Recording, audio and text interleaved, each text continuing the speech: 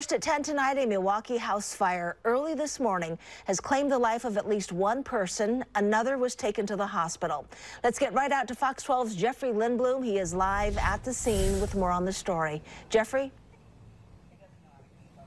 Anna, neighbors tell me that the inside of this home is charred and burned to a crisp where right now in front of the home you can see a memorial that has been laid by neighbors for the victims. Two of them, who are neighbors on either side of the victim's home, currently outside. Crews say while they were able to put the flames out in just 10 minutes, it wasn't in time to save everybody inside. It's been a very sad night. So I was woken up at, say, 2 o'clock in the morning listening to chainsaws. And then I opened my eyes and I saw flashing lights everywhere. Joanne Ravelli, who lives a door down, says she sprang out of bed early Saturday morning to see all kinds of emergency vehicles. And while she didn't personally see the fire, she says her neighbor across the street, who happened to be sitting in his car at the time, did.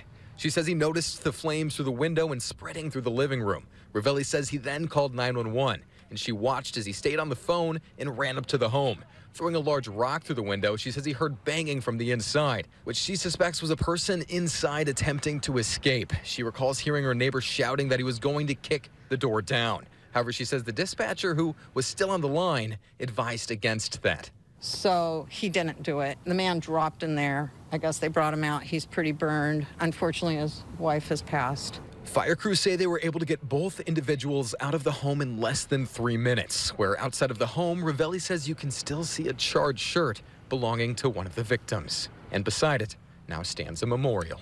We all put this together, us neighbors, in memory of her. Ravelli says it's for a neighbor who has been living there since she moved in more than 15 years ago, describing those who lived in this home as a quiet but very loving couple who mostly kept to themselves. They were a very loving couple. They were very close and tight with each other. And he was he was her caretaker because she had MS. So he he worked. He took care of her. So they were they had a great relationship. Joanne says she recently closed this gate where behind it she says she saw a man come by to pick up the couple's dog who didn't make it. Unfortunately, passing she suspects to smoke inhalation.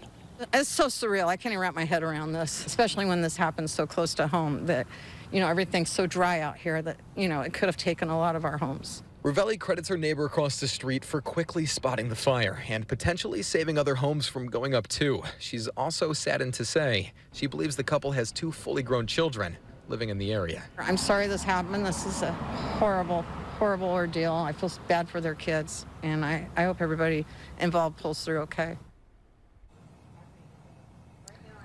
While neighbors say the couple did often smoke inside of their home, the official cause of the fire is still under investigation. Reporting live from Milwaukie, I'm Jeffrey Lindblom for Fox 12 Oregon.